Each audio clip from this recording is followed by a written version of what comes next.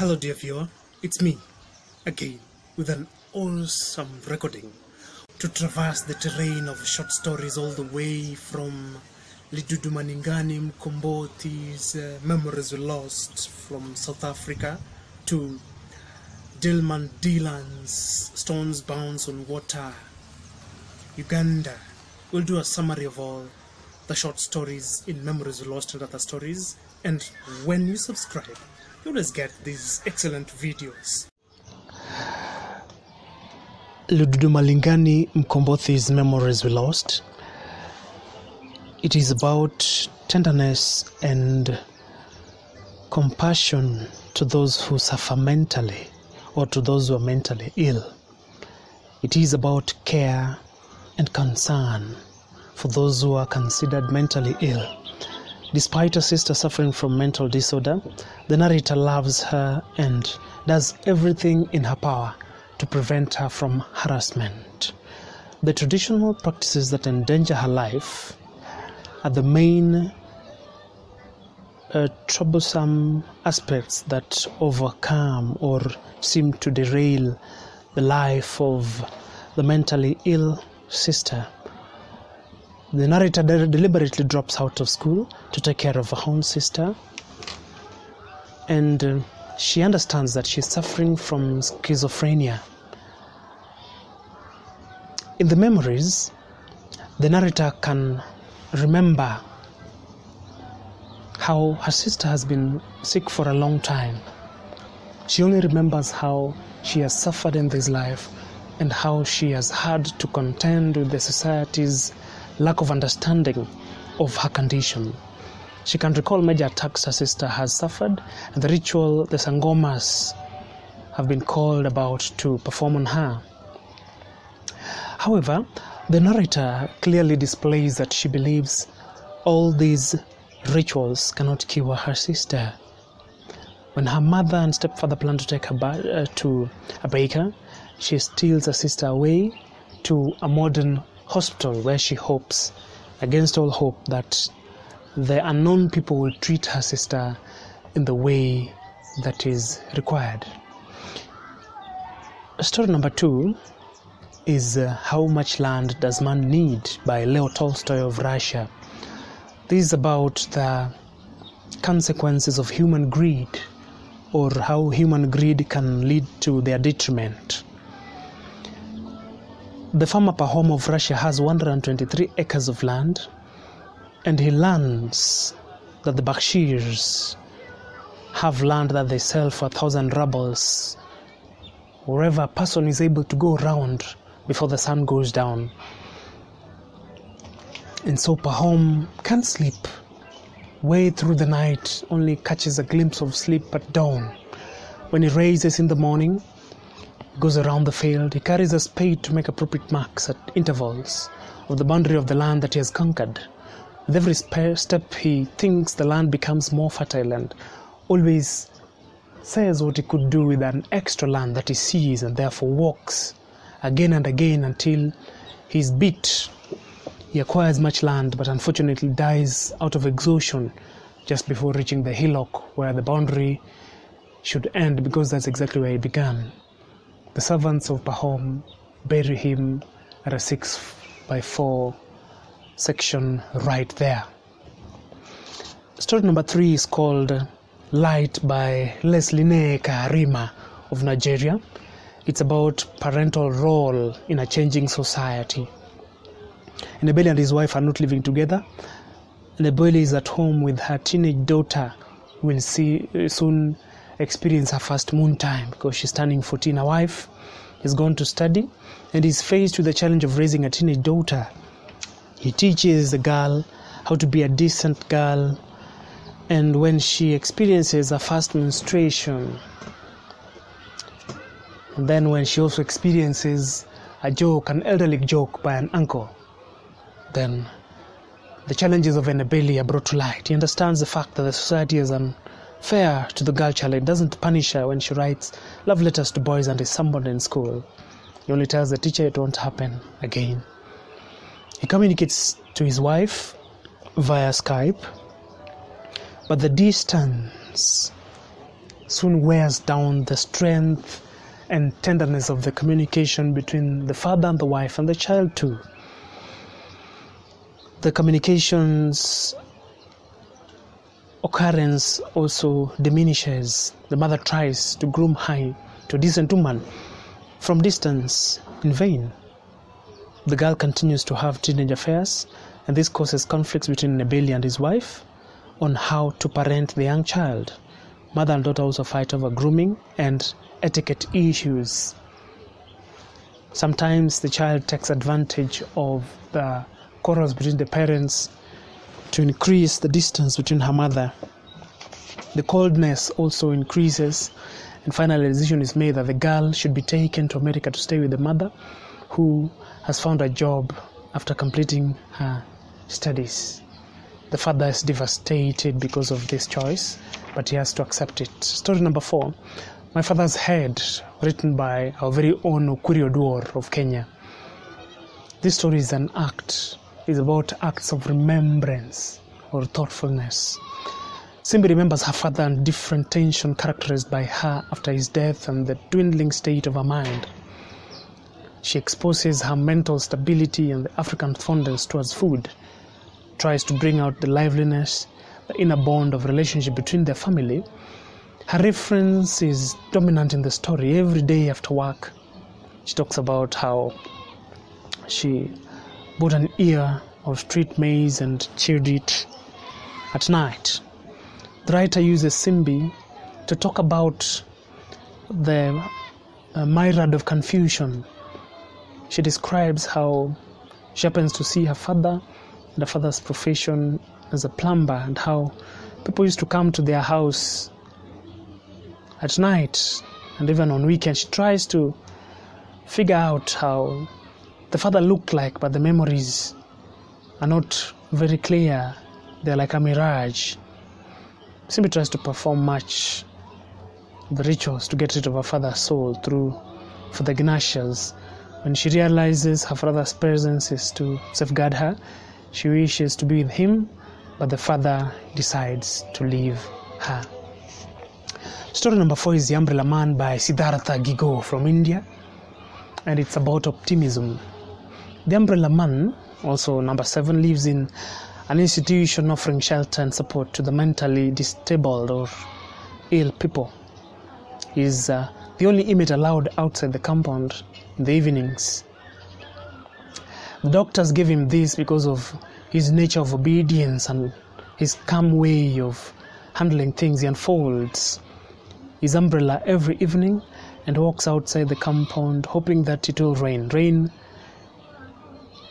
hasn't come in this area for many months, and whenever he looks up and the clouds are swelling, he again unfolds his umbrella, hoping that the rain will come. He lost. He has not had any visitor in many years, and no one knows how he acquired the umbrella the other people envy. The umbrella becomes his companion. The other inmates think that it's the most beautiful thing in this particular corrections uh, center. And it's evident that everyone would like to have a touch or a hold of this particular umbrella. Many times, the umbrella man uh, sees the image of some child and he watches the child disturbed by untouched dreams. He then confronts the child to go back to sleep and promises to be at the side. This happens every night. Another imaginary being, a Baba, asks whether it, will rain and assure him that it would rain soon. He sits on the favorite bench between the asylum gate and the wall to have a conversation with the Pani Little, who is a pessimist about the rains coming. The umbrella man tells him that someday it will rain, of course. He cannot sleep at night and he narrates a story to the child who sleeps. The next morning, he receives a set of new clothes, a bag, and a tin that has money. He's told that he's free on the rainy day. He spreads his umbrella and walks out of the cell. From the gate, he wonders which path to take. The funny little fellow is gone with the rain. He sees a road that is waiting for him on the other side. And finally, his hope is fulfilled. Story number six is called Effects of War. It's written by Mariatu Kamara of Sierra Leone and it's titled The President. Now, in this story, the narrator is a young girl who is captured by the rebels. And at Sierra Leone at this time, there is war. Those who capture her point a gun at her, ready to kill her. Um, she pleads and pleads with the rebels, who are just but children, possibly child soldiers. They want to cut the hand because the president sh- should feel him for victims who will not vote for him. Hand is chopped off, and the young boys who are rebels, si- child soldiers, they celebrate. Her wounds are treated, but again she's pregnant. Salu had declared to make to make her his wife because she's already pregnant and she doesn't even know it. The rebels had killed him and many as well. She gave birth to cesarean section, and her story appears in a newspaper article from sympathizers and well-wishers. She is taken to Canada, where she graduates from ESL with the ESL with a diploma. Now, despite her challenges, Mariatu Kamara uh, passes her examination.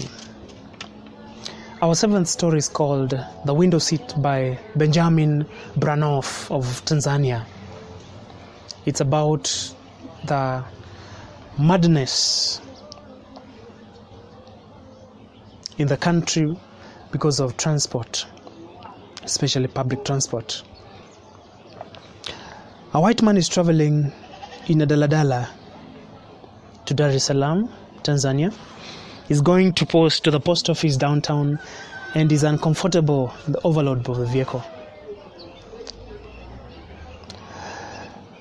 That should have carried 10 people, but now 24 people are crammed inside. He's, sit, he's seated at the window. The road is in bad condition and dust goes into the window. There's noise all over, music of stereo systems, mobile music, and conductors advertising their daladalas, making a lot of noise. In the vehicle, the narrator encounters a beautiful girl who is putting on a kanga and is taken by the lady. Monique, the French girl he had met in college, therefore dissipates in his mind for a while. The bus is stopped by a police officer, and the narrator witnesses as the conductor and the police argue.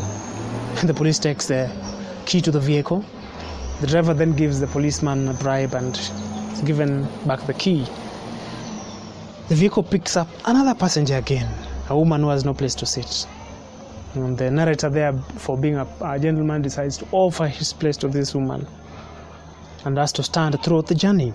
When the vehicle stops, the standing passenger are jerked forward. They have to hold to each other. The narrator realizes that Kanga has been holding on him and is carried away by this. He feels Kanga's other hand slipping off his jeans. When Kanga alights, the narrator is in dismay. He's left wondering what to say to the beautiful girl. He shifts to the world of fantasy, dozes off to hear the conductor shouts, waking him. When he looks around, the bus is empty. He can't pay fare as demanded by the conductor because he realizes that his wallet is missing. It has been stolen, probably by Kanga. What a sad and distasteful end of the story. That marks our first summary of the seven stories. We'll be back with a summary of uh, other stories another time. Always remember to subscribe to Sari Willy Literature to get some of these awesome recordings. Thank you for your time and God bless you. The Folded Leaf by Segun Afolabi of Nigeria. This is about hypocrisy in religious institutions. The Folded Leaf is a story about members of congregation who travel to the city to look for healing from various diseases and disabilities through prayer. These are Bunmi, the narrator who is blind. She travels with her father, her brother Bola. Others are Mrs. Shekere, who walks using sticks. Tunde, a boy who has a hole in his head. And Sam, who is disabled and is on a wheelchair. They go to Lagos to attend uh, the crusade by Pastor Adejola Fayemi, also called Daddy Cool, who is rich and has a helicopter jet uh, and homes in Switzerland, Caribbean, and Florida.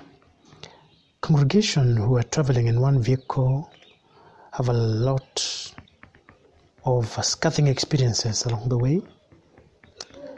The police looking through the bags of the passengers. Mr. Ejiofor, a rich man, bribes a policeman who then allows them to proceed. The crusade,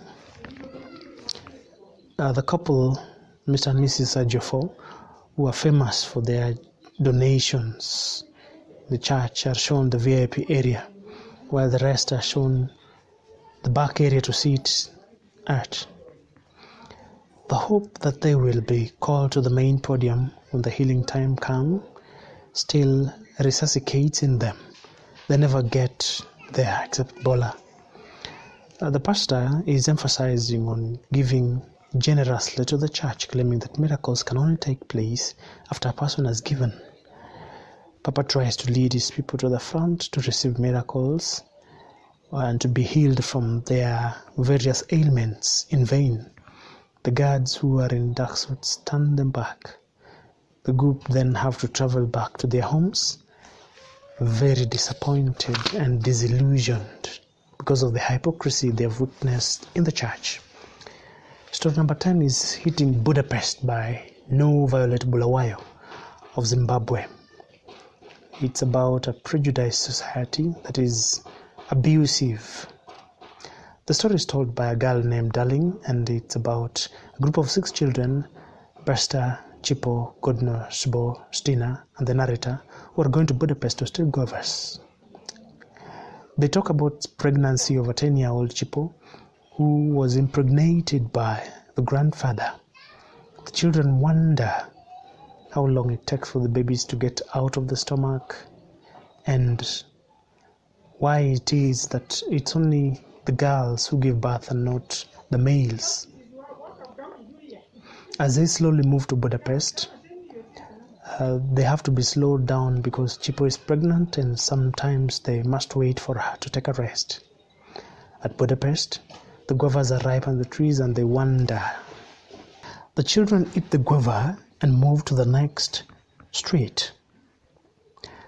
They encounter a white woman who talks to them, and the children are surprised. They have never seen anybody throwing away food. She later asks them their age and takes a picture of them and asks, them to smile. On their way home, they talk a lot about their dreams of buying a big house and getting married. From getting away from Budapest and going for higher education, others talk about going to America. At home, they're shocked to see uh, Struck Suna advises them to run.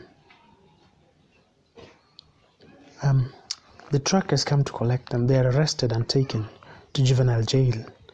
Chipo gave birth there, and the writer learns to read and write later on. So, uh, resilience in the face of prejudice is evident in this story.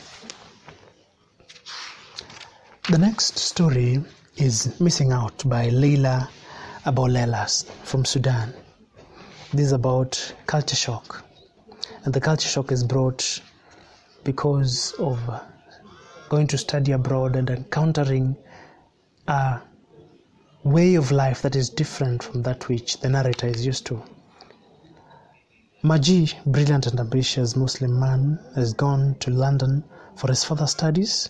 Surprisingly, he writes to his mother back at home that he would not make it and is almost giving up after failing the first exam. His mother gets scared and hatches a plan to find him a wife, believing that this will help him settle in London. He marries Samra, and this boosts his concentration in his studies. When Samra learns that Maji is gradually abandoning his Islamic faith as he does not observe the mandatory prayers, the problem in this homestead begins. He also has embraced the way of life that is strange. Maji, on the other hand, feels that Samra is missing out on civilization. She sticks to her religious ways of life, even way back in London. Maji cannot come to terms with why Samra is not excited by opportunities their new life holds. She's still stuck in the past, yet there are so many choices, according to her husband. Our next story is No Need to Lie by Rolf Smith of Kenya. The Will to Fight Cancer. Rolf narrates his long fight and determination to destroy and smash throat cancer. He's diagnosed with throat cancer when he's 50 years and he dismisses and is in denial at first. He thought that the tons, it was a simple tonsil that will disappear. When the pain gets worse, he decides to go for medical assistance, and after the test, it's confirmed that he has third stage cancer. He is devastated but consoled by the fact that, unlike AIDS, he can fight cancer. He must go through radiotherapy and chemotherapy to kill the cells from his body, and he experiences severe pain, body loss, loss of hair, and eating problems because of the pain. He responds to treatment appropriately and through family, friends, and well wishers, is flown to Germany for further treatment. And his attitude helps him overcome the cancer. He defeats cancer and is given a heroic welcome when he returns to Nairobi because of his resilient nature. He fights cancer. Our next story is The Handsomest Drawn Man in the World by Gabriel Márquez, Latin America. This is about an eye opener. The handsomest drawn man in the world opens with some children who are playing in the beach. They're playing in the waves and they see a strange, dark, and icky object approaching. In this story, they discover that it's the body of a drowned man. The women of the village prepare the man for burial and decide to call him Esteban. They wonder how handsome he is compared to their husband. He's better than them in almost all the qualities his gait, his physical qualities, and this makes the husbands jealous of the dead man. They confront women over Esteban, claiming that there's no need to uh, claim such things of a dead man. After funeral, the funeral of Esteban, the members of the village have an eye-opening session when they see how desolate and horrible the village is. He's put to rest in the ocean, and they can now begin to uh, implement some changes in their village to honor Esteban, who had superior qualities.